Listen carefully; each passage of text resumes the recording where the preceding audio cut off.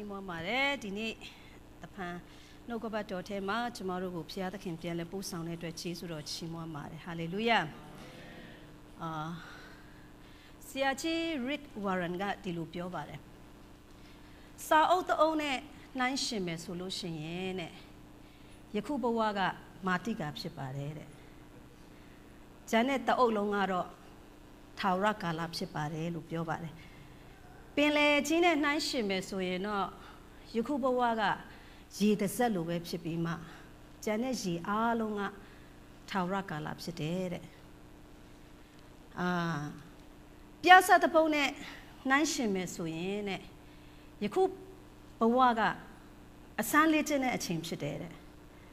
ထာဝရကာလကတော့တကယ်ပြဿကြီးပြတဲ့အချိန်ဖြစ်ပါတယ်တဲ့ဒါကြောင့်ယခုဘဝဆိုတာက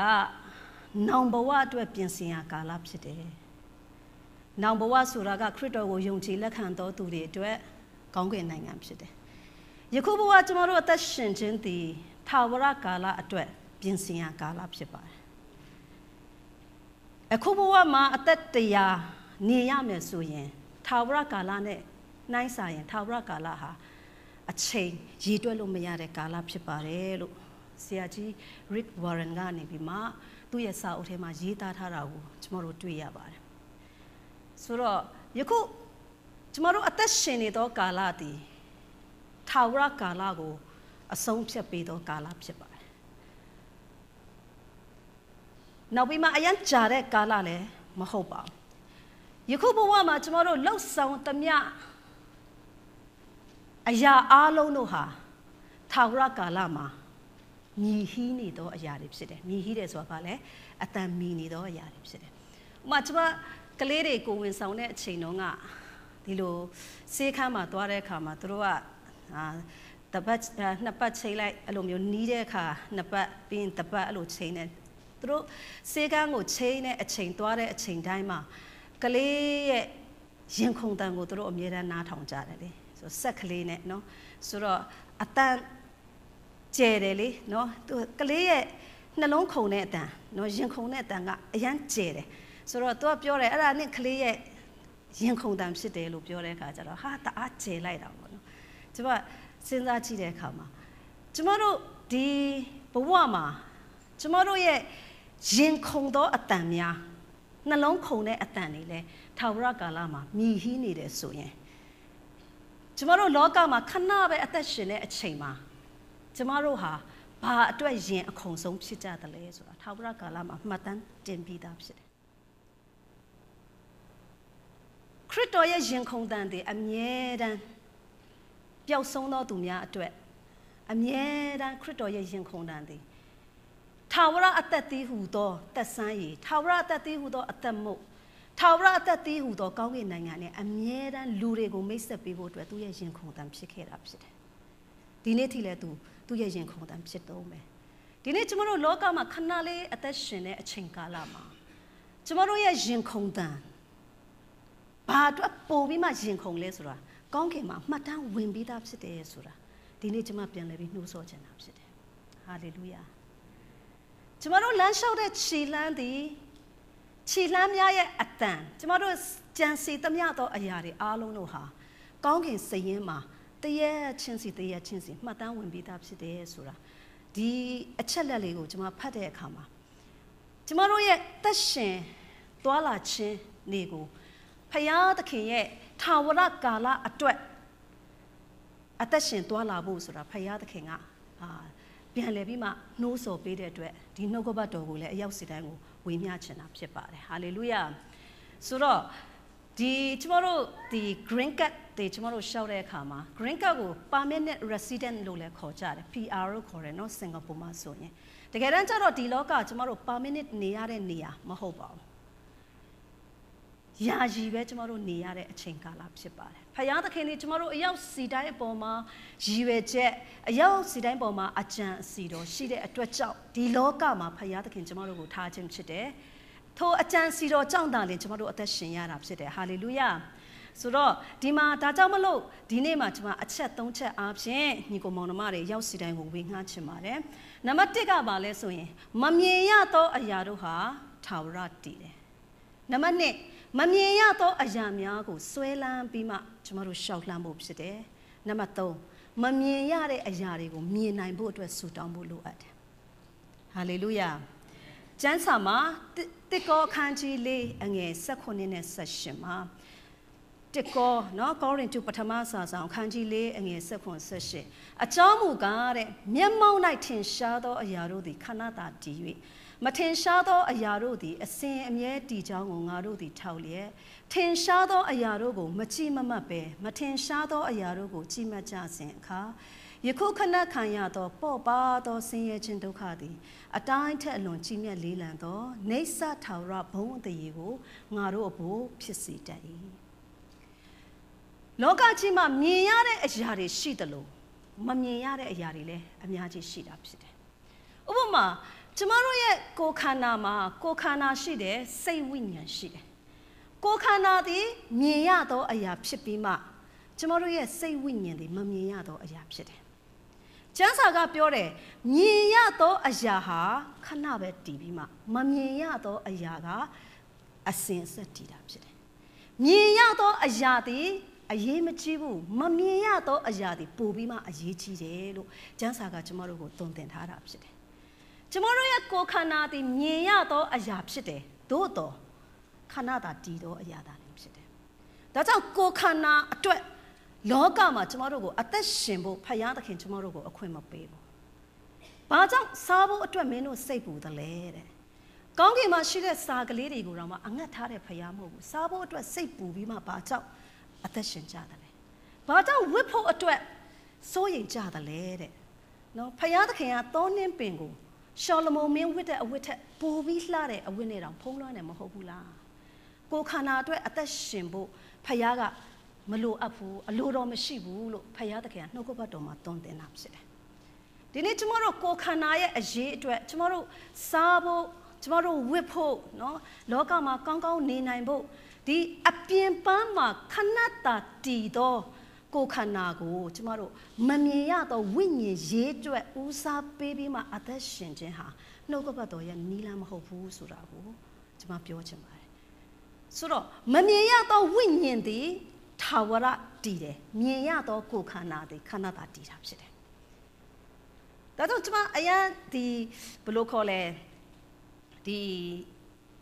ဇာပနာအစီအစဉ်တွေကျမရှိတယ်ရှိတယ်ဆိုလို့ရှိရင်ကြုံတွေ့တယ်ဆိုရင်ကျမဒီကြမ်းချက်နဲ့အမြဲတမ်းကျမခွန်အားပေးတတ်တယ်မမြင်ရတော့သူ့ရဲ့ဝိညာဉ်တွေခရစ်တော်ကိုယုံကြည်သောကြောင့်သူဒီဖရာသခင်ထံမှာရောက်သွားပြီ မြင်ရသောကိုခန္ဓာသာလင်လောကမှာဘာဖြစ်လဲပုတ်ပြတ်သောကိုခန္ဓာဖြစ်သောကြောင့်မြင်မုံကလာသောကိုခန္ဓာဖြစ်သောကြောင့်သူကမြေကြီးမှာသွားရတာဖြစ်တယ်ဒါကြောင့်ကိုယ်ခန္ဓာဟာထာဝရရှင်တာမဟုတ်ဘူးဝိညာဉ်ဟာထာဝရရှင်တယ်ဒါကြောင့်သူ့ရဲ့ဝိညာဉ်ယခုဘယ်နေရာမှာရောက်နေတယ်လဲဆိုတာကိုစဉ်းစားကြည့်ပြီးမှဝမ်းမြောက်စွာနဲ့ယေရှုတော်ကိုချီးမွမ်းမှုဖြစ်တယ် ကိုယ်ခန္ဓာကိုကြည့်ပြီးငိုနေဖို့မဟုတ်ဘူးလို့ကျွန်မအမြဲတမ်းအားပေးတတ်တယ်ဟာလေလုယာဘာကြောင့်လဲကိုယ်ခန္ဓာစိတ်ဝိညာဉ်၃ပါးရှိတဲ့အထဲမှာကျမတို့ဒီကျမတို့ရဲ့ဝိညာဉ်ကိုတာ၍ဗာလဲတိုးတက်ဖို့ဒီဝိညာဉ်ရေးရာတာ၍လှပလာဖို့ဒီဝိညာဉ်အတွင်းဝိညာဉ်ဒီဖရာသခင်နဲ့တာ၍တဒံတူလာဖို့တဒံတူလာဖို့ဆိုတာဖရာသခင်ကဲ့သို့ခရစ်တော်ရဲ့အသက်တာကဲ့သို့ကျမတို့အသက်တာဖြစ်လာဖို့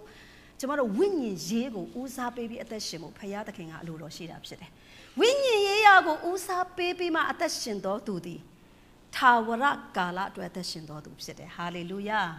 ဟာလေလုယာဟာလေလုယာဒါကြောင့်ကိုခန္ဓာအတွက်မလိုအပ်ဘူးလို့ဘုရားသခင်မပြောဘူးလိုအပ်ကြောင်းကိုသိတော့ကြောင့်ဘုရားသခင်ကြီးထောက်ပံ့ပေးပြီးသားဖြစ်တယ်စိုးရင်စရာမရှိဘူးဟာလေလုယာအတွင်းဝိညာဉ်ကိုကျမတို့တစားဆင်ပြီးမှအသက်ရှင်ဖို့ဖြစ်တယ်ဆိုတော့မမြင်ရသေးတဲ့ မမြင်သေးတဲ့အရာတွေဥပမာဖာရိရှဲတွေဆိုလို့ရှိရင်ခရစ်တော်ကသူတို့ကိုပြင်းပြင်းထန်ထန်ပြောတာဖြစ်တယ်အချင်းမွေဆိုးအမျိုးတို့အပြင်းပြင်းထန်ထန်သူတို့ကိုပြောတယ်ခရစ်တော်ဒီကျမ်းစာထဲမှာကျမတို့ကြည့်တယ်ဆိုလို့ရှိရင်ပြင်းထန်စွာနဲ့ရှုံချခြင်းခရစ်တော်ရဲ့ရှုံချခြင်းခံရတော်သူတွေကဖာရိရှဲတွေဖြစ်တယ်ဖာရိရှဲတို့ဒီအရေးကြီးသောအသွင်းစိတ်သဘောကိုသူတို့ကတစားမစင်ပဲနဲ့ အပြင်ပန်းမှာတော့ဝိယုံကြီးတကားကားနဲ့နော်ဒီလိုလူတွေစီကားတဲ့နေရာမှာပွဲနေတွေမှာနော်ဝိယုံကြီးတွေဝဲပြီးတော့မှတန်ရှင်းတယ်လို့လို့အပြင်ပန်းမှာသူတို့အသက်ရှင်ပြီးမှနေကြတယ်ဒါပေမဲ့အရေးကြီးတဲ့အတွင်းကိုသူတို့ကဂယုမဆိုင်ပဲနဲ့နေတဲ့အတွက်ကြောင့်ခရစ်တော်လုံးဝမကြိုက်ဘူးအချင်းမွေဆိုးအမျိုးမင်းကဘာနဲ့တူလဲဆိုရင်နဲ့အဖြူတုတ်ထားတဲ့သင်္ချိုင်းတွင်းနဲ့တူတယ်တဲ့အပြင်မှာတော့အဖြူရောင်လေးနဲ့လှပါတယ်ဒါပေမဲ့အထဲမှာတော့ ပုတ်ဆက်ချင်းနေနဲ့ပြေးရတယ်ဆိုပြီးမှခရစ်တော်ဒီမတည်မြဲသောအပြင်ပိုင်းကိုတစားဆင်ခြင်းကိုနော်မပြဘလို့ခေါ်လဲမမြင်ရတဲ့အတွင်းပိုင်းကိုတစားဆင်ခြင်းထက်အပြင်ပိုင်းကိုဦးစားပေးသောအသက်တာကိုခရစ်တော်ကပြင်းထန်စွာနဲ့ရှုံချတယ်ဆိုတာကျွန်တော်တို့တွေ့ရတယ်ဆိုတော့ကျွန်တော်တို့ရဲ့အသက်တာဒီကနေ့မမြင်ရသောအတွင်းလူဖြစ်တဲ့ဝိညာဉ် လူကိုကြီးထွားစေဖို့ဝိညာဉ်လူကိုဘာဖြစ်လဲဦးစားပေးပြီးမှဝိညာဉ်လူရဲ့အုပ်ချုပ်ခြင်းအပြင်အသက်ရှင်ခြင်းကိုဖယားသခင်တွေကျမတို့ကိုအလိုတော်ရှိတာဖြစ်တယ်ဟာလေလုယာဘာကြောင့်လဲကိုခန္ဓာရဲ့စိတ်ရဲ့ဝိညာဉ်ရဲ့သုံးပိုင်းရှိတဲ့အထဲမှာကျမတို့ရဲ့ဝိညာဉ်သည်ဖယားသခင်နဲ့ပြန်လည်ပြီးမှဆက်သွယ်နေသောအတွင်းလူဖြစ်တယ်စစ်မှန်သောလူဖြစ်တယ်လို့လဲကျမ်းစာကနေဖော်ပြတယ်နော်ဆိုတော့အပြင်လူသည်တဲ့ဗာလဲ အပြင်လူဆိုတာဗာလဲဒီကိုခန္ဓာဖြစ်တယ်နော်ကိုခန္ဓာဟာစစ်မှန်သောလူမဟုတ်ဘူးကျမကျမခင်ဆန်းမော်ဆိုလို့ပြောတဲ့အခါမှာအခုမြင်ရတဲ့ကိုခန္ဓာကိုခေါ်တာမဟုတ်ဘူးကျမအတွင်းထဲမှာရှိတဲ့လူကိုခေါ်တာဟာလေလုယာအချိန်တန်တဲ့အခါမှာဒီကိုခန္ဓာကမြေကြီးပေါ်မှာပဲကြံပြီးမှခင်ဆန်းမော်လူစစ်ဖြစ်သောအတွင်းလူကသာလျင်ခရစ်တော်ထံမှာနေရမှာဖြစ်တယ်ဟာလေလုယာဒါကြောင့်အတွင်းလူဒီထာဝရတည်တယ်အပြင်လူဖြစ်သောဒီကိုခန္ဓာဒီယာရှိတာဖြစ်သောကြောင့် အပြင်လူအတွက်အသက်မရှင်ပဲနဲ့အတွင်းလူအတွက်နေ့ရက်စဉ်တိုင်းမှာအသက်ရှင်တော်သူသည်ထာဝရကာလကိုသိမှတ်ဆွဲလာပြီးအသက်ရှင်တော်သူဖြစ်တယ်ဟာလေလုယာဒါကြောင့်ဝိညာဉ်ရေးရာကိုဦးစားပေးဖို့အရေးကြီးတယ်ငါရဲ့ဝိညာဉ်ရေးရာသည်ဘယ်ရာအဖြစ်တိုးတက်နိုင်တယ်လဲကြီးထွားနိုင်တယ်လဲဆိုတာအမြဲတမ်းရှာဖွေတတ်ဖို့အရန်အရေးကြီးပါတယ်ကိုယ်ကာယအတွက်စားရမယ့်အစာတွေမြောက်များစွာရှိတယ်နော် အမျိုးမျိုးစားလို့ရတယ်အနောက်တိုင်းစားစားလားအရှေ့တိုင်းစားစားလားတရုတ်စားစားလားနော်လူရဲ့ကိုခန္ဓာကြီးထွားဖို့အတွက်လူတယောက်ဒီတရက်ကို3ချိန်ကနေ5ချိန်လောက်ထိအစာစားတတ်ကြတယ်နော်တချို့အာ breakfast lunch dinner เนาะတချို့ဆိုလို့ရှိရင်ဟိုနေ့လေเนาะအာ lunch နဲ့ dinner အလယ်မှာတစ်ခုစားသေးတယ်ပြီးရင်အိတ်ခါနီးမှာတစ်ခုစားသေးတယ်ဆိုရင်ငါးခါစားတဲ့လူရှိတယ်နော်ပုံမှန်တော့သုံးခါစားတဲ့လူရှိတယ်နော် မြန်မာပြည်မှာတော့အကြောင်းမျိုးမျိုးကြောင့်မနေ့တစ်ခါညတစ်ခါစားတဲ့လူတွေလည်းရှိတယ်ဘလို့ပဲဖြစ်ဖြစ်ကိုခန္ဓာကြီးထွားဖို့အတွက်လူတို့ဒီတပတ်ကိုအနည်းဆုံး3ချိန်စားတယ်ဆိုရင်တော့မှ20ခါအစာစားပြီးစားစားပြီးမှကိုခန္ဓာကိုဂရုစိုက်နေတာဖြစ်တယ်ဒါပေမဲ့အတွင်းလူဖြစ်တဲ့ဝိညာဉ်လူကြီးထွားဖို့အတွက်တပတ်မှာတစ်ခါပဲဖခင်เจ้าမှာအစာစားတယ်ဆိုရင်အတွင်းလူကကြီးထွားနိုင်ပါမလားတခါလေစာတန်ကနော် ဘာမှတော့မလုပ်ရသေးဘူးနည်းနည်းလေးပဲထိလိုက်တာနဲ့လဲချင်ချင်ဖြစ်နေပြီနော်ဆိုတော့ဟာစာတန်တကယ်အားကြီးတယ်လို့ပြောလိုက်သေးတယ်နော်တကယ်တော့စာတန်ကအရာအားကြီးတာမဟုတ်ဘူးကျမတို့အတွင်းလူကအရာအားနေနေတာဖြစ်တယ်ဆိုတော့ကျမတို့နေ့စဉ်မှာအတွင်းလူကိုကြီးထွားစေသောအရာသည်နှုတ်ကပတ်တော်ဖြစ်သောကြောင့်ဖခင်ရဲ့နှုတ်ကပတ်တော်နဲ့အတွင်းလူကိုနေ့စဉ်စာကျွေးဖို့အရန်ရည်ကြီးတယ်တခါလေတပတ်တခါပဲကျမတို့ဖခင်เจ้าမှာ ဝိညာဉ်ခုံအားယူမယ်ဒီတစ်ပတ်ဖះเจ้าမှာလို့ပြောပေမဲ့ဝိညာဉ်ခုံကအပြည့်အဝနဲ့ဖះเจ้าကမပြန်တဲ့အပတ်တွေလည်းရှိမှာပဲ။ဘာကြောင့်လဲတရားဟောတဲ့အချိန်မှာစိတ်ကဟိုရောက်ဒီရောက်ဆိုတာလေးလည်းများကြီးရှိတယ်။နော်ဆိုတော့အတွင်းလူကြီးထွားဖို့ရန်အတွက်ကျမတို့ဒီဂယုစိုက်ပြီးမှအသက်ရှင်ခြင်းဒီထာဝရကာလကိုကျမတို့ဆွဲလန်းပြီးမှအသက်ရှင်နေခြင်းဖြစ်တယ်။ဟာလေလုယာ။ဟာလေလုယာ။ဆိုတော့မမြင်ရတဲ့เนาะကျမတို့အာ မမြင်ရသောအရာတို့ဟာထာဝရတည်မြဲတယ်နောက်တစ်ခုကဘာလဲကောလောသဲခန်းကြီး3အငယ်1နဲ့2မှာအထက်အရာတို့ကိုရှာကြလောမြေကြီးပေါ်မှာရှိသောအရာတို့ကိုဆွဲလန်းသောစိတ်မရှိကြနဲ့အထက်အရာတို့ကိုသာဆွဲလန်းခြင်းရှိကြလောလောကမှာကျမတို့အသက်ရှင်တဲ့အခါမှာအထက်အရာကိုဆွဲလန်းပြီးမှရှောက်လန်းအသက်ရှင်ခြင်းကိုဖခင်သခင်ကအလိုတော်ရှိတာဖြစ်တယ်နော်ကျမတို့ဒီဟေဘဲခန်းကြီး7မှာကျမတို့သိကြတယ်။ဗာလဲ ဘိုးဘေးတွေရဲ့စရင်တွေကျမတို့ပြုစုထားတယ်ယုံကြည်ခြင်းသူရဲကောင်းတယ်အဲ့ဒီမှာသူတို့ဘာပြောလဲဆိုတော့နော်အငယ်73ကနေ16ကိုဖတ်ကြည့်တဲ့အခါမှာကျမခွန်အားရတယ်ယခုဆိုခဲ့ပြီးသောသူအပေါင်းတို့သည်ဂတိတော်နှင့်ဆက်ဆိုင်သောအကျိုးကျေးဇူးကိုမခံရဘဲအဝေးကမျှော်မြင်လျက်စိတ်နှလုံးနှင့်ဖတ်ရန်လျက်မိမိတို့သည်မြေကြီးပေါ်မှာတကြွန်းသူတနိုင်ငံသားဧည့်သည်အာဂန္တုဖြစ်သည်ကိုထင်ရှားစွာဝန်ခံလျက်ယုံကြည်ခြင်းစိတ်နဲ့တည်လွန်ကြတယ် ဒီလောကမှာအသက်ရှင်တာငါတို့ခဏပဲဧည့်သည်ပဲဆိုတာသူတို့အမြဲတမ်းဆွဲလန်းတာဖြစ်တယ်ဒီလောကမှာငါတို့အသက်ရှင်ခြင်းဒီခဏပဲလို့ဆွဲလန်းပြီးမှအသက်ရှင်တော်သူသည်ထာဝရကာလအတွက်နော်အမြဲတမ်းအမြဲတမ်းကောင်းသောအမှုတွေကိုကျမတို့ပြုရင်းနဲ့အသက်ရှင်ကြမှာဖြစ်တယ်။ထို့သောဝန်ခံတော်သူတို့သည်တဲ့မိမိတို့အဘပြည်ကိုရှာကြသည်ဟုအတိအလင်းပြောဆိုကြ၏တဲ့။ ထိုသူတို့သည်အထက်ကထွက်သွားသောပြည်ကိုအောင်းမေ့သည်မှန်လျင်ထိုပြည်သို့ပြန်ရသောအခွင့်ရှိကြ၏ထိုပြည်ကိုမအောင်းမေ့ပဲကောင်းကင်ပြည်တည်းဟုသောတာ၍မြတ်သောပြည်ကိုတောင်းတခြင်းရှိကြ၏ထို့ကြောင့်ဖယားသခင်သည်သူတို့နှင့်သူတို့၏ဖယားဟု၍ခေါ်ဝေါ်ခြင်းကိုရှက်တော်မမူသူတို့နေစရာမြို့ကိုတည်ထောင်တော်မူ၏ဟာလေလုယာလောကမှာရှိသောပြည်ထက်ကောင်းကင်ပြည်ကိုဆွဲလန်းပြီးမှကျမတို့ရဲ့ယုံကြည်ခြင်းသူရဲကောင်းဘိုးဘေးတို့သည်ဘာဖြစ်လဲဆွဲလန်းပြီးတော့မှသူတို့အသက်ရှင်ကြတယ်လောကမှာရှောင်လန်းကြတယ်မြေကြီးအရာတွေကိုဆွဲလန်းခြင်းမရှိဘဲနဲ့အထက်အရာကိုဆွဲလန်းပြီးမှရှောက်လန်းအသက်ရှင်ကြတော့သူတွေဖြစ်တယ်ဆိုတော့ကျမတို့တွေ့ရတယ်နော်ဆိုတော့တမန်တော်ရှင်ပေါလုရဲ့အသက်တာကိုကျမတို့ကြည့်တဲ့အခါမှာသူဒီလဲဘာပြောလဲဆိုလို့ရှိရင်နော်ဘာလဲလောကအရာကိုမဆွဲလန်းပဲနဲ့ကောင်းကင်အရာကိုဆွဲလန်းတယ်ဆိုတဲ့အကြောင်းသူ့ရဲ့ဩ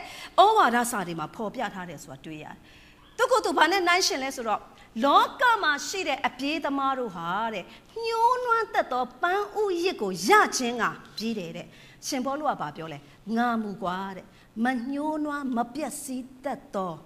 ပန်းဥယစ်တဲ့ဖို့ရခြင်းကပြေးတယ်တဲ့ဒါကြောင့်ငါပြေးတဲ့အခါမှာအမှားတမဲ့မပြေးဘူးတဲ့ရှင်ဘောလူက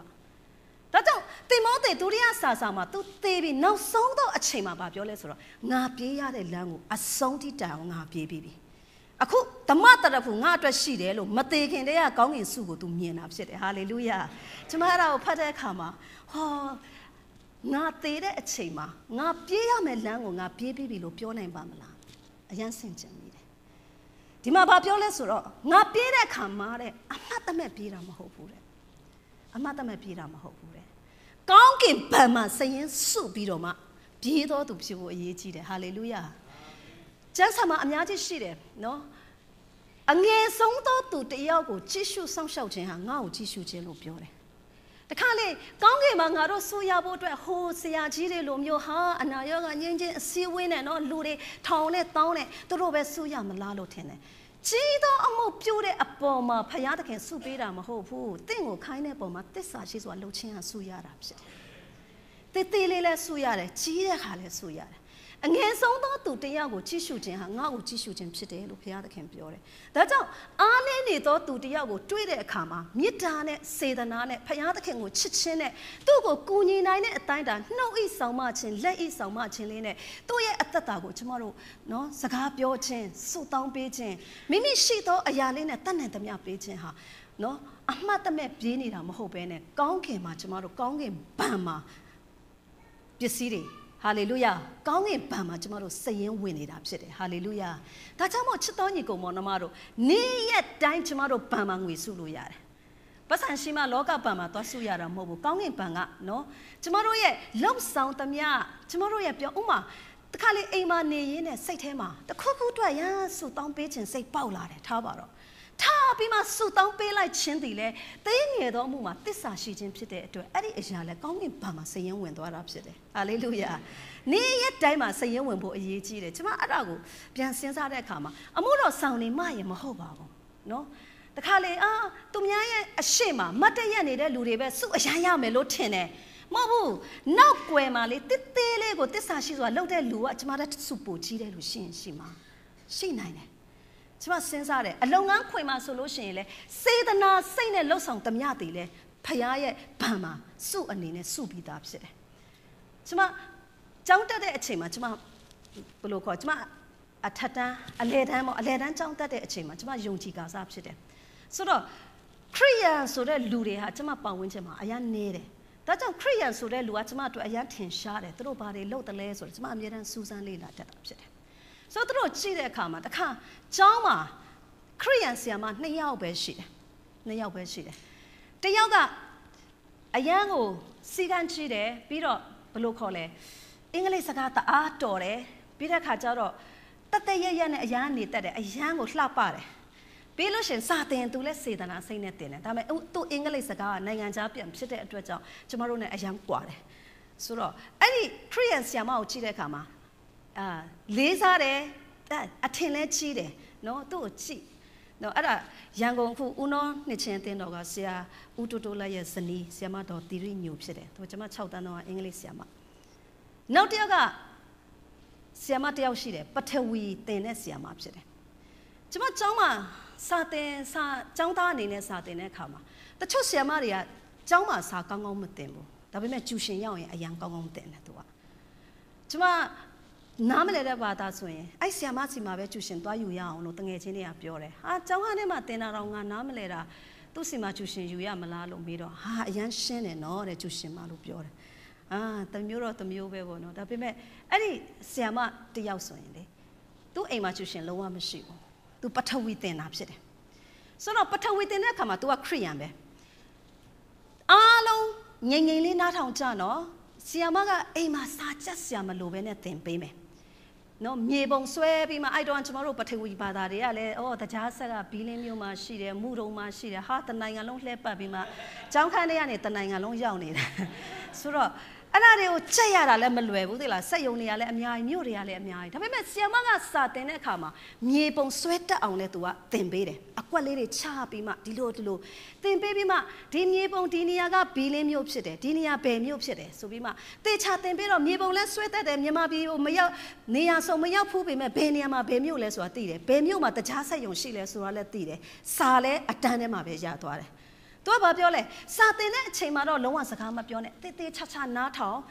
အခန်းထဲမှာပဲစာရရမယ်အိမ်မှာပြန်ချက်เสียမလိုဘူးစာကိုချက်ဖို့မလိုဘူးမှတ်ဖို့ပဲလိုတယ်စာချက်နီးပါသင်ပေးတယ်နော်ပြီးတဲ့ခါကျတော့မရှင်းတာရှင်းချက်ချင်းမေးအစကနေအဆုံးထိဆရာမမမောဘူးတဲ့ပြန်ပြောပြမယ်စေတနာအရန်ပါတယ်ဆိုတော့အဲ့ဒီဆရာမအားဖြင့်ကျွန်မ၈တန်းမှာကော၁၀တန်းမှာကောကျွန်မပထဝီဂုံလို့ပါတယ် ရှစ်တန်းတော့ကသူတင်ပေးခဲ့တဲ့မြေပုံကကျွန်မ10တန်းရောက်တဲ့အထိမမေ့ဘူးမြေပုံဘယ်လိုဆွဲရမလဲစာကြတဲ့အခါမှာသူများအလွတ်ကျက်ပြီးချက်နေကြတဲ့သူတွေထဲမှာကျွန်မပုံဆွဲပြီးမှဒီနေရာမှာဘာဆက်ဘာဆက်ဘာဆက်ဆိုတာမှတ်ထားလိုက်လို့ရှိရင်စာလို့ပြန်ရေးလိုက်ရင်စာအလုံးပြီးသွားပြီဆိုတော့အဲ့ဒီဂျေဆုတွေကိုဒီနေ့ထိနော်ကျွန်မဘရောမှမမေ့ဘူးကျွန်မပြန်စဉ်းစားတဲ့အခါမှာလုပ်ငန်းခွင်မှာစေတနာစိတ်နဲ့လှုပ်ဆောင်သောဤဆီယာမသည်ကောင်းကင်မှာစရင်တစုံတစ်ခုဝင်နေတယ်ဆိုတာသိတဲ့အခါမှာ အယမ်းပဲဝမ်းသာပြီးမှဂျေစုတော်ချီးမွမ်းတယ်ဟာလေလုယာဒါကြောင့်ညီကောင်မောင်နှမတွေတသက်ခံမရည်လည်းမဟုတ်ပါဘူးနော်တချင်းဆိုမှဖះเจ้าပုပ္ပစ်ပေါ်မှာတစုံတစ်ခုလို့ရမှဆိုရင်လဲစုပါတာမဟုတ်ပါနေ့ရက်စင်တိုင်းမှာကျမတို့ရဲ့အသေးစိတ်သောလုတ်ကင်ဆောင်ရွက်သမျှလေးတွေလုပ်ငန်းခွင်ထဲမှာလုတ်ကင်အရာအားလုံးတို့ဒီကောင်းကင်ပန်စီရင်မှာနေ့တိုင်းနေ့တိုင်းသွားနေတယ်ဆိုတာကျမပြန်ပြီးမှတတိပေးခြင်းတာဖြစ်တယ်ဟာလေလုယာဒါကြောင့်ရှင်ပေါလုကပြောတယ် ငါအကျိုးမဲ့ပြေးတာမဟုတ်ဘူးတဲ့အမှတ်တမဲ့ငါမပြေးဘူးတဲ့တတိထားပြီးမှပြေးတာဖြစ်တယ်ဟာလေလုယာရှင်ပေါလုရဲ့စကားကျွန်မနှလုံးသားကိုအမြဲတမ်းစကားပြောတယ်နေ့ရက်စင်တိုင်းမှာဘာဖြစ်လဲအမှတ်တမဲ့ပြေးတာမဟုတ်ဘဲနဲ့ကောင်းကင်ဘဏ်မှာစရင်ဝင်နေဖို့အတွက်ကျွန်မတို့အသက်တာဟာဒီကနေ့ဘာဖြစ်လဲကျွန်မတို့ရဲ့အသက်တာဒီထာဝရကာလအတွက်ပြင်ဆင်တဲ့ကာလဖြစ်တယ်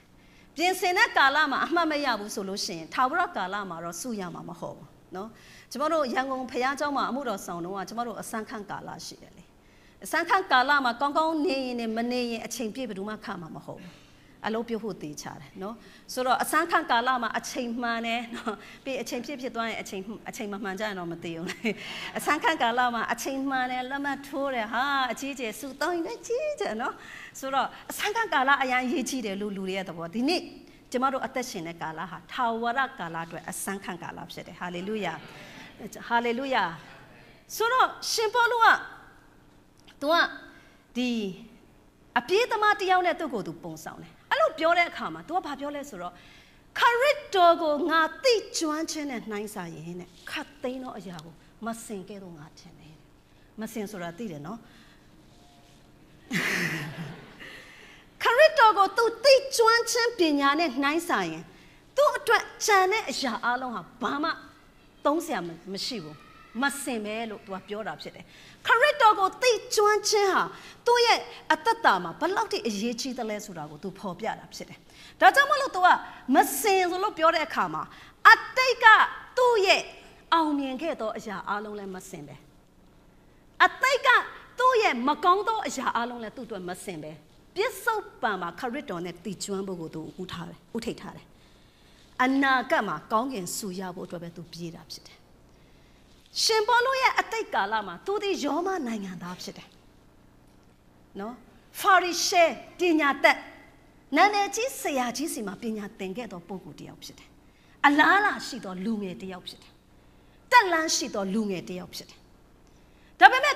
ရစ်တော် ကိုသိသိကျွမ်းလာတဲ့အခါမှာသူတက်သောပညာတွေသူ့ရဲ့ဖာရိရှဲဆိုတဲ့ဂုံပုတ်တွေသူ့ရဲ့ချမ်းသာမှုတွေဒီအရာအားလုံးကိုငါမစင်ခဲ့တော့ပဲငါထင်တယ်ခရစ်တော်ကိုသိကျွမ်းခြင်းတာလေယခုပြစ္ဆုတ်ပံမှာအရေးကြီးဆုံးပဲလို့သူရှောက်လှမ်းတာဖြစ်တယ်ဟာလေလုယာထိုနည်းသူစွာအတိတ်ကာလမှာသူပြုတ်ခဲ့သောအပြစ်တွေအားလုံးသူ့ရဲ့စိုးညစ်ခြင်းချင်းရှင်ပေါလုက ဘလောက်ထိအတိတ်ကာလမှာစိုးတယ်လဲဆိုရင်ခရစ်တော်ကိုယုံကြည်ပါတယ်ဆိုတဲ့လူတွေအားလုံးယောက်ျားမိန်းမမရွေးသူဟာဘာဖြစ်လဲထောင်သွင်းအချင်းချတော်သူညင်းဆဲတော်သူဖြစ်တယ်တသေးဖန်ကိုကြောက်ခဲနဲ့ဝိုင်းပြီးပြစ်တတ်တော့ကနော်တသေးဖန်အေးဝင်ကလေးဟောရင်းနဲ့ယူရလူတွေအရင်စိတ်ဆိုးပြီးမှကြောက်ခဲနဲ့ပြစ်တယ်မလားတမန်တော်ဝတ္ထုအခန်းကြီး6ခွန်မှာဖတ်ကြည့်အဲ့ဒီအချိန်မှာနော် တတိဖန်ကိုကြောက်ခဲနဲ့ပြစ်မယ်ဆိုပြီးမှအရန်စိတ်ဆိုးနေတဲ့ယူရလူတွေသူတို့ရဲ့ဝတ်လုံတွေကိုချုပ်ပြီးမှတခါတည်းဗာလဲကြောက်ခဲကိုကင်မယ်အဲ့ဝတ်လုံတွေကိုတဲ့လူငယ်တယောက်ရဲ့ခြေရင်းမှာထားတယ်တဲ့သူကဒီသူ့ရဲ့ ဗာလဲတသေးဖန်တေခြင်းအမှုမှာအဲ့ဒီသူကဝန်ခံလျက်ရှိတယ်ဝန်ခံလျက်ရှိဆိုတော့ဗာလဲသဘောကျတယ်ကောင်းတယ်ကောင်းတယ်ဒီလိုကောင်းမျိုးသေးတာတော့ကောင်းတယ်နော်လူတယောက်လုံးလုံးသွေးတန်ရဲရဲတဲ့ကြောက်ခဲကြောက်ခဲနဲ့မသိမချင်းပြစ်သက်ချင်းခံရတဲ့အချိန်မှာမလီကောင်းလိုက်တာဒီလောက်ခံတာတော့နဲသေးတယ်ဆိုပြီးမှခရစ်တော်ရဲ့အေဝံဂေလိတရားကြောင့်နော်ညှင်းဆဲခြင်းခံရတဲ့သူအတွက်သူတည်ခြင်းကိုဝမ်းမြောက်ပေးနေတော့သူဟာရှောလူဖြစ်တယ်ပေါ်လူဖြစ်တယ်သူကိုယ်တိုင်လည်းဘာဖြစ်လဲညှင်းဆဲတယ် ဒါပေမဲ့သူ့ရဲ့အသက်တာမှာအတိတ်ကပြုတ်ခဲ့သော မကောင်းသောအမှုတွေဟာနော်ခရစ်တော်ကိုသိကျွမ်းခြင်းနဲ့မှာခရစ်တော်ရဲ့ဂျေစုတော်ဂယုနာတော်တွေသူခံစားရတဲ့အချိန်မှာအဲ့ဒီအတွက်သူဟာအောတပစိတ်မကြည်မလင်ခြင်းနဲ့နောက်ဆုတ်သောအသက်တာမရှိခဲ့ဘူးဒီရာအလုံးခရစ်တော်ရဲ့ဂျေစုတော်ထဲမှာမေတ္တာတော်ထဲမှာဟာလေလုယာ ဖယားသခင်ကခွင့်လွှတ်ခြင်းထဲမှာဆိုရဲရင်စွာနဲ့သူဒီခရစ်တော်ရဲ့ဧဝံဂေလိတရားကိုဟောပြောတော်သူဖြစ်တယ်ဆိုတာကျွန်တော်တို့တွေ့ရတယ်ဟာလေလုယာဒါကြောင့်အတိတ်ကရွှေထီးဆောင်ခဲ့တဲ့အရာတွေလည်းပြစ္ဆုတ်ပါမှာအတော့မဝင်ဘူးငါရင်တော့ကဘလောက်ချမ်းသာတာဘာမှမဆိုင်ဘူးဒီကာလမှာတခါတလေအတိတ်ကရွှေထီးဆောင်ခဲ့သောအရာတွေနဲ့မာနကြီးသောသူသည်ပြစ္ဆုတ်ပံမှာဘာမှမလုပ်တယ်လို့အနာဂတ်တော့လည်းဘာမှအကျိုးမရှိဘူး အတိတ်ကရှုံးနိမ့်သောအရာတွေကိုပဲစဉ်းစားပြီးမှရဲရင်ခြင်းမရှိသောသူသည်လေပြစ္ဆုတ်ပံမှာသူလှုပ်ဖို့အားမရှိတယ်လို့အနာဂတ်မှာလည်းဘာမှကောင်းကျိုးမရှိဘူးပြစ္ဆုတ်ပံမှာဖယားသခင်နဲ့ကျွမ်းဝင်ခြင်းသိကျွမ်းခြင်းနဲ့တွားပြီးအနာဂတ်မှာထာဝရကာလအတွက်အသက်ရှင်ဖို့ပဲဖြစ်တယ်ဟာလေလုယာအတိတ်ကကောင်းသောအရာဖြစ်စေဆိုးသောအရာဖြစ်စေအတိတ်ကကောင်းသောအရာတွေအတွက်ဂျေဇုတော်ကိုချီးမွမ်းရင်မမှားဘူးကောင်းသောအရာတွေအတွက်မာနကြီးတယ်ဆိုရင်မှားတယ် ဖခင်သခင်ချီးမြှောက်သောအရာတွေအတွက်အော်ကိုတော့ကျေးဇူးတင်လိုက်တာလို့ကျေးဇူးတော်ချီးမွမ်းသောနှလုံးသားမှန်ပေမဲ့အတိတ်တော့ငါဘလောက်ချမ်းသာတာနင်သိလားငါအရင်တော့ငါရဲ့ယာတို့ကဘာနင်ဘာငါ့ကိုခုဒီလိုစကားပြောတာလဲဆိုတဲ့မာနကြီးမှုဖြစ်လာတယ်ဆိုရင်တော့ပြစ္ဆုတ်ပံမှာကျမတို့ဘာမှလုပ်လို့ရမှာမဟုတ်မာနကြီးသောသူလည်းဖခင်သခင်ကမချီးမြှောက်နိုင်ဘူးအသုံးလည်းမပြုနိုင်ရှင်ဘောလုရဲ့အသက်တာမှာပြစ္ဆုတ်ပံကာလမှာခရစ်တော်နဲ့ကျွမ်းဝင်တယ် အနာဂတ်ကာလမှာစုတရဖူငါအတွက်ရှိတယ်လို့မသေးခင်ပြောတော်သူဖြစ်တယ်ဟာလေလုယာကျွန်မတို့ကိုအရန်အားကြတယ်ဟာလေလုယာမသေးခင်မှာကောင်းကင်မှာငါအတွက်ဘာရှိတယ်လဲဆိုတာကိုကျွန်မတို့ကောင်းကင်ဘာမှာဘာတွေစုလဲဆိုတာကျွန်မတို့လှုပ်ဆောင်ခဲ့တဲ့အရာတွေကိုကျွန်မတို့ပြန်စဉ်းစားရင်သိနိုင်တာပဲဘာတွေပူစုထားတယ်လဲဆိုတာအားလုံးသိနိုင်ကြတယ်ဆိုတော့ဘာလဲအကျိုးမဲ့မဟုတ်ပဲနဲ့ဘာဖြစ်လဲကျွန်မတို့ဒီနေ့ရက်စဉ်တိုင်းမှာငါရဲ့ပြောသောအရာ ငါရဲ့ခြီလှမ်းငါရဲ့အကြံအစီအားလုံးဟာကောင်းကင်ပန်နာမှာစုအနေနဲ့ထဲ့သလားမထဲ့ဘူးလားဆိုတာကိုအမှတ်တမဲ့ပြေးတာမဟုတ်ဘဲနဲ့တတိနဲ့ပြေးတော့ယုံကြည်သူများဖြစ်ဖို့ဘုရားရှင်ကောင်းချီးပေးပါစေနောက်ဆုံးတစ်ချက်မှာမမြင်နိုင်သောအရာတွေကိုမြင်နိုင်ဖို့အတွက်ဆုတောင်းဖို့လိုအပ်တယ်ဖယားသခင်နဲ့ပတ်သက်သောအရာတွေမှာလေဖယားကကျမတို့ကိုမဖွင့်ပြရင်လူရဲ့အုံနောက်ကဘယ်တော့မှမမြင်နိုင်ဘူး ဖယားသခင်ကတကယ်ဖယားရဲ့ဂျေစုတော်ကိုချီးမွမ်းတယ်ဖယားသခင်ဒီဘယ်တော့ခါမှသူ့ကိုယ်ကိုသူမဖွင့်ပြတော့ဖယားမဟုတ်ဘူးလူတွေကိုသူဘလို့ဖယားဖြစ်ကြောင်းအမြဲတမ်းပြောပြတဲ့ဖယားဖြစ်တယ်ဖယားသခင်ကသာလေလူတွေကိုလာမပြောပြဘူးဆိုရင်လူတွေဖယားကဘလို့ဖယားမျိုးဖြစ်တယ်လဲဆိုတာနားလည်ဖို့လုံးဝအခွင့်အလမ်းမရှိဘူး။ဘာကြောင့်လဲလူရဲ့အုံနောက်နဲ့ဖယားအုံနောက်လည်းတခြားစီပဲ။ ဖယားသခင်နဲ့ပတ်သက်သောအရာတွေမှာဖယားသခင်ကလာပြီးဖွင့်ပြတဲ့အခါမှာနှလုံးသားထဲမှာကျမတို့ရှင်းလင်းသွားပြီးမှဝိညာဉ်ရေးရမှာကျမတို့ပို့ပြီးတော့မှမြင်လာနိုင်တာဖြစ်တယ်။ဒါကြောင့်ရှင်ပေါလုကအေဖက်အခန်းကြီး1အငယ်16နဲ့19မှာဒီလိုဆုတောင်းပါတယ် ဆုတောင်းသောအချက်ဟူမူကားတဲ့ငါတို့သခင်ယေရှုခရစ်၏ဖယားသခင်ဖြစ်တော်မူသောဘုံကြီးသောအဘခမည်းတော်သည်ကိုတော်မြတ်ကိုသိခြင်းလို့ငါပညာကို၎င်းထိုးထွင်းသောဉာဏ်ကို၎င်းသင်တို့အားပေးပါမည်အကြောင်းခေါ်တော်မူသောကြောင့်မျှော်လင့်ရသောအရာကအဘယ်အရာဖြစ်သည်ကို၎င်းတန်ရှင်းသူတို့ခံရသောအမွေတော်၏ဘုံစည်းစိမ်ကအဘယ်မျှလောက်ကြီးသည်ကို၎င်းယုံကြည်သောငါတို့၌ပြတော်မူသောအလွန်ကြီးလာစွာသောတကူတော်ကအဘယ်မျှလောက်ကြီးသူ၎င်းသင်တို့သည်သိစေခြင်းကသင်တို့၏ဉာဏ်မျက်စိကိုလင်းစေပါမယ်အကြောင်းဆုတောင်းပတ္ထနာပြုတယ်ရှင်ပေါလုရဲ့ဆုတောင်းခြင်းသူဆုတောင်းတာပါလေနော်ခမီးတော်ခမီးတော်သည်ခမီးတော်သည်ကိုရောမြတ်ကိုသိခြင်းအလို့ငါပညာကို၎င်းထိုးသင်းသောဉာဏ်ကို၎င်းပေးပါမယ်အကြောင်းဆုတောင်းတယ်ဖယားသခင်ကိုဒီကနေ့သိတာထက်နောက်နေ့မှာပိုသိဖို့အတွက်ကျွန်တော်တို့ဆုတောင်းဖို့လိုတယ်ကိုတော်ကိုတာ၍သိခြင်းနဲ့ဟာလေလုယာ ဖယားသခင်နေသူဘလို့ဖယားမျိုးဖြစ်တယ်လဲဆိုတာကျွန်တော်တို့ရဲ့တတ်တာကိုလာပြောပြတဲ့အခါမှာကျွန်တော်တို့ရဲ့အသက်တာဒီယုံကြည်ခြင်းအပြည့်ရဲရင်ခြင်းအပြည့်ဝမ်းမြောက်ခြင်းအပြည့်နဲ့လောကမှာအသက်ရှင်နေတာဖြစ်တယ်။ဒါကြောင့်ဖယားသခင်ကိုဒီနေ့သိတာထက်မနှက်ဖြန်ပို့သိဖို့အရာရည်ကြီးတယ်။ဟာလေလုယာ။ကျွန်တော်တို့အုံနောက်နဲ့တော့စဉ်းစားလို့ဖယားကိုမသိနိုင်ဘူး။ဖယားလာဖွင့်ပြဖို့လိုတယ်။ခေါ်တော်မူသောကြောင့်မျော်လင့်သောအရာကအဘယ်အရာဖြစ်သည်ကို၎င်းနော် the hope of calling ဖယားသခင်ကျွန်တော်တို့ကိုသားဖြစ်စေခြင်းကခေါ်တယ်။ အဲ့ဒီခေါ်ခြင်းအတွက်ဘလောက်ကြီးမားတဲ့မျော်လင့်ခြင်းရှိတယ်လဲဆိုတာဖယားသခင်ကကျမတို့ကိုလာဖွင့်ပြမှသိနိုင်တာဖြစ်တယ်။လာမဖွင့်ပြတဲ့အခါမှာလေကျမ်းစာဖတ်ရင်လည်းကျမတို့အသက်တာကိုအကျိုးမသိရအောင်။ဟာဂတိတော်တွေအများကြီးပဲကျမ်းစာထဲမှာရလည်းမရပါဘူးလို့ပြောတယ်လို့အများကြီးပဲ။တော့ကျမငယ်ငယ်တော့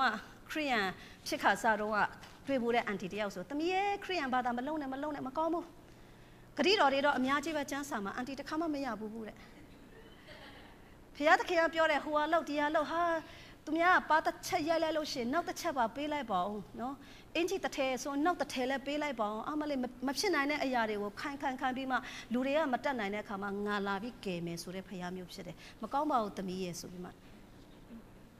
ဖရားရဲ့ဂတိတော်တွေပေးတယ်သူမရဘူး ဒီနေ့ဖယားသခင်ရဲ့နှုတ်ကပတ်တော်ရဲ့ကြွယ်ဝသောကောင်းကြီးကိုဝိညာဉ်မျက်စိလင်းမှသာလေမြင်တွေ့ပြီးမှခံစားတာဖြစ်တယ်ဟာလေလုယာဟာလေလုယာတန်ရှင်းသူတို့ခံရတော့အမွေတော်ရဲ့ဘုံစည်းစိမ်ဘလောက်ကြီးလဲဆိုတာဖယားဖွင့်ပြဖို့ရည်ကြီးတယ်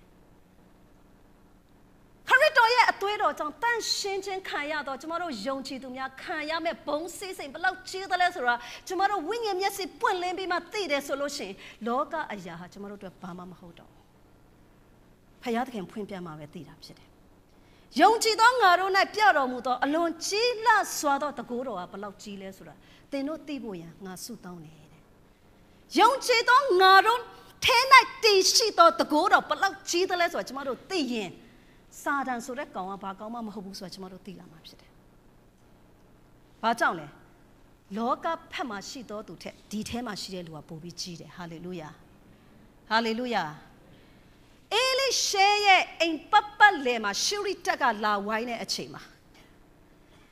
ရှုရိရှင်ဘရင်ရဲ့ယထာတက်မြင်းတက်တဲ့အိမ်ပတ်ပတ်လည်ကိုဝိုင်းတဲ့အခါမှာအေလိရှဲရဲ့ကျွန်လေးကအပြင်ဘက်ကိုထွက်ကြည့်တော့စစ်တက်ကြီးတစ်ခုလုံးကသူတို့အိမ်ကိုလာဝိုင်းထားတယ်။ဘာကြောင့်ဝိုင်းလဲဆိုတာဇလန်းဖတ်ချင်တော့အရှိကြီးပဲเนาะကျွန်မလိုအပ်တဲ့ပိုင်းလေးပဲပြောမယ်။ဆိုတော့လာဝိုင်းထားတဲ့အခါမှာလူလင်လေးကကြည့်တယ်အယမ်းကြောက်တယ်ချက်ချင်းသူ့တခင်ကိုပြောတယ်တခင်ထားပါထားပါထားပါအပြင်မှာစစ်တပ်တွေဝိုင်းထားပြီဆိုပြောတယ် အေလိရှေကဘာပြောလဲ။အိုးဖယားသခင်ဒီလူငယ်လေးရဲ့မျက်စိကိုလင်းစေပါမယ်အကြောင်းကျွန်တော်ဆုတောင်းပါတယ်။ဆုတောင်းတယ်။အဲ့ဒီချိန်မှာအဲ့လူငယ်လေးဘာမြင်သွားလဲ။ရှုရိရှင်ဘရင်ရဲ့တက်ရဲ့နောက်မှာဝင်းရံထားတဲ့ဖယားသခင်ရဲ့ကောင်းကင်စစ်တပ်ကိုသူမြင်တာဖြစ်တယ်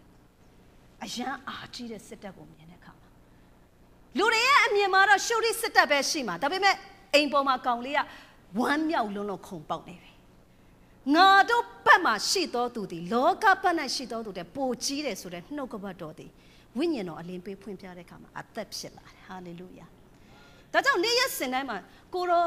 ကျွန်တော်တို့ရဲ့ဝိညာဉ်မျက်စိညာမျက်စိဆိုတာဝိညာဉ်မျက်စိကိုပြောတာဖြစ်တယ်ကိုရောဖွင့်ပေးပါကျမတို့ခံရမယ့်အမွေတော်ရဲ့ဘုံစည်းစိမ်ကျမတို့ရဲ့အထဲမှာရှိတဲ့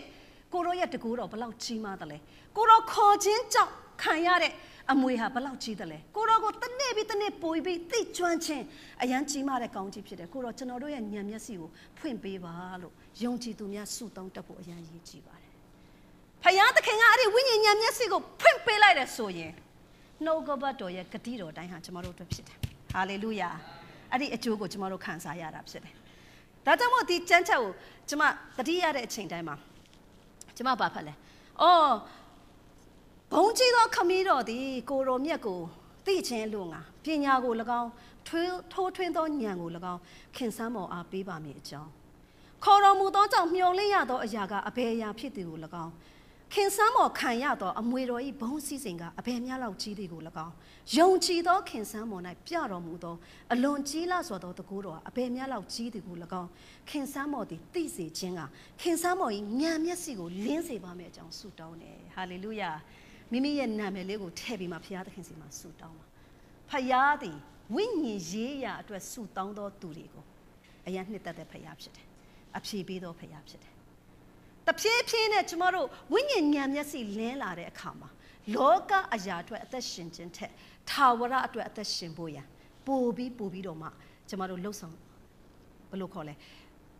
ထာဝရကာလအတွက်အသက်ရှင်လို့သောနှလုံးသားဟာအလိုလိုနေနဲ့ပိုပြီးမှကြီးထွားလာမှာဖြစ်တယ်ဟာလေလုယာဒါကြောင့်မို့ဒီနေ့မှာညီကိုမောင်နှမတွေသိပြီးသားတွေဖြစ်ကောင်းဖြစ်ပါလိမ့်မယ်ကျွန်မပြန်ပြီးတော့မှတတိပေးခြင်းတယ်ထာဝရကာလဒီ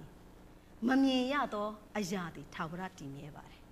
ထာဝရကာလအတွက်နေ့ရက်စဉ်တိုင်းမှာအမတ်တမဲ့ပြေးပြပြေးတာမဟုတ်ဘဲနဲ့အမတ်တမဲ့ပြောတာမဟုတ်ဘဲနဲ့အမတ်တမဲ့အလုံးလုံးတာမဟုတ်ဘဲနဲ့ကောင်းကင်ဘန်စရင်မှာ ဟာလေလုယာစရင်အပ်နေတော်သူများဖြစ်ဖို့အရန်အရေးကြီးတယ်ကောင်းကင်ဘန်မှာလေစေတနာစိတ်နဲ့လှုပ်ဆောင်တော်သူလှုပ်ဆောင်သမျှတိုင်းမှာဖယားသခင်ကိုချစ်တော်နှလုံးသားနဲ့လှုပ်ဆောင်တော်သူလှုပ်ဆောင်သမျှတိုင်းမှာဖယားဘုန်းတော်အတွက်လှုပ်ဆောင်တော်သူဟာလေလုယာဖယားသခင်ရဲ့နာမတော်ကိုထောက်ပြီးအငယ်ဆုံးတော်သူကိုကြည့်ရှုတော်သူနော်ကျမ်းစာမှာဒီအရာတွေအားလုံးတို့ဟာကောင်းကင်ဘန်မှာစိတ်ရဝင်နေရှိတယ်ဟာလေလုယာဟာလေလုယာဟာလေလုယာဟာလေလုယာ မမြင်နိုင်သောအရာတွေကိုတာ၍မြင်နိုင်ဖို့အတွက်ဆုတောင်းဖို့လိုအပ်တယ်ဟာလေလုယာဆုတောင်းတဲ့အခါမှာဖခင်သခင်ကျမတို့ကိုဖွင့်ပြလာတဲ့အခါမှာလေဒီလောကကြီးကကျမတို့အတွက်ဘာမှမဟုတ်တော့ဂျင်းနဲ့ချင်းရောက်ရဲချင်းလောကမှာချမ်းသာရင်လည်းဂျေစုတော်ပဲမပြည့်စုံဘူးမချမ်းသာဘူးဆိုလို့ရှိရင်ဂျေစုတော်ပဲဘာကြောင့်လဲဒါဟာအစမ်းခံကာလဖြစ်တယ်ထာဝရကာလဟာတာ၍စစ်မှန်သောကာလဖြစ်တယ်ဟာလေလုယာ ဖျားရှင်ရောက်စီတိုင်းပုံမှာကောင်းချီးပေးပါစေအာမင်ဟာလေလုယာလက်ခုပ်တီးဖို့လားတီးလေးတီးလေးဟာလေလုယာဖျားရှင်နာမတော်ကဘာဆက်ဆက်ဘုံကြီးပါစေဒါကြောင့်ကျမတို့အားလုံးမတည့်ရကြရအောင်ဝိညာဉ်တော်ဒီကျမတို့ရဲ့တက်တာကိုဆက်လက်ဥဆောင်လမ်းပြပါစေအားလုံးအာဝိညာဉ်တော်တုန်တင်ပေးပါနော်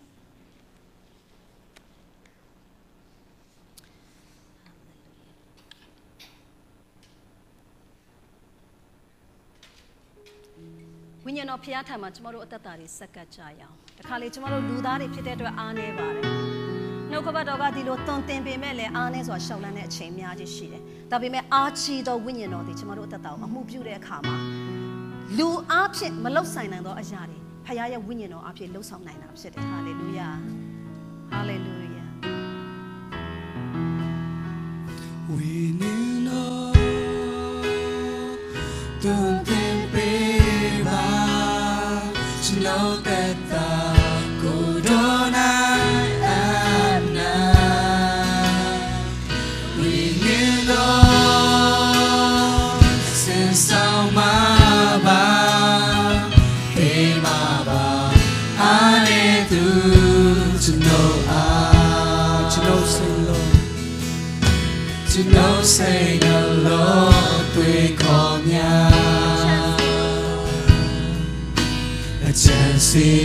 ဆိုကိုရောရှင်ထံဝဲအနာကျွန်တော်ပြုရမှုသွားရလမ်းကိုရောပဲခိုင်ပေးပါကိုယ်တော်ပဲခိုင်ပေးပါအစင်ညွန်ပြဖို့ဆောင်ပါကျွန်တော်စိတ်နှလုံးတွေ့ခေါ်များ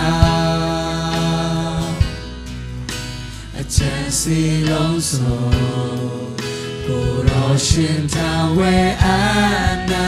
ကျွန်တော်ပြုရမှုတွားရလမ်းကို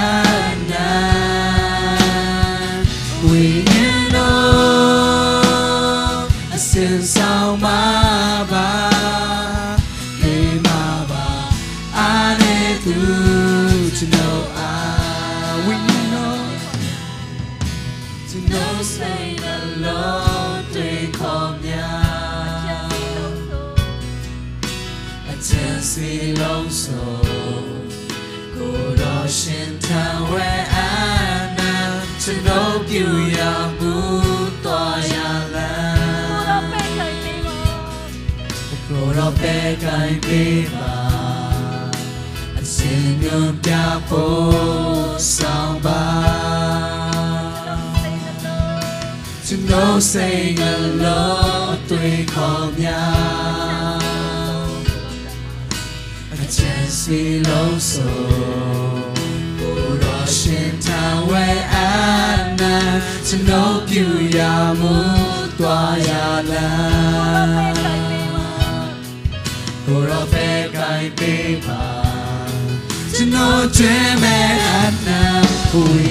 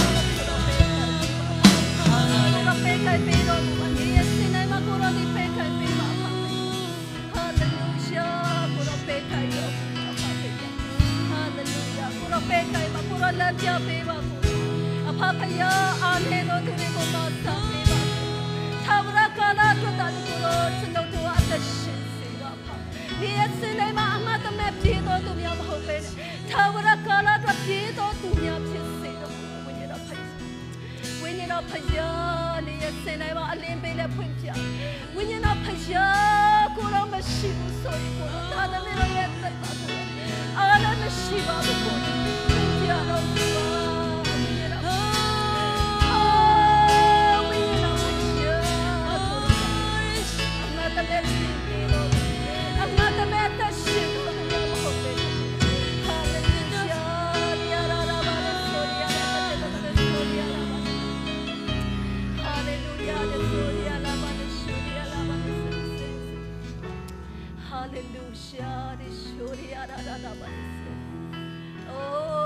ဖွင့်ပြတော့ဘူးပါဝိညာဉ်တော်အာဝိညာဉ်တော်ဖယားကိုတော့အမတ်တမဲ့စီပြီးတော့အမတ်တမဲ့တရှိတော့မဟုတ်ပဲ Hallelujah, the Shoria da da da ba. Oh, the shit, the tension of when you're a payada, ကျွန်တော်ကျမတို့ရဲ့ဘဝကိုပဲကင်တော်သူဖြစ်ဖို့အရေးကြီးတာဖြစ်တယ်။အိုးဝိညာဉ်တော်ဖယားသားလေကျွန်တော်ကျမတို့ရဲ့အတ္တကိုအလင်းပေးပိုက်တော့ဖယားဖြစ်ပါတယ်။ဒါရှင်တော်ဝိညာဉ်တော်ဒီကျွန်တော်ကျမတို့ရဲ့အားနည်းသောအရာတွေကိုကိုညီမဆတော်သူဖြစ်တယ်ဝိညာဉ်တော်မပါရင်ကျမတို့အသက်မရှင်နိုင်ဘူး ထာဝရကာလအတွက်အသက်ရှင်နိုင်ဖို့အတွက်ဝိညာဉ်တော်သားလည်းကျမတို့ရဲ့အသက်တာကိုအောဖို့ရမာစာပေးနိုင်တာဖြစ်တယ်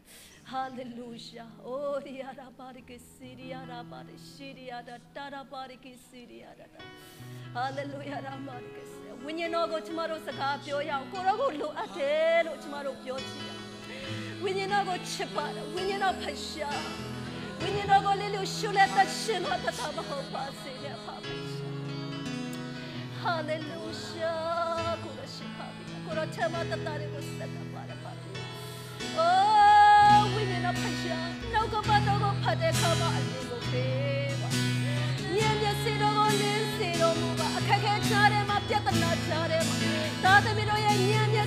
ဉာ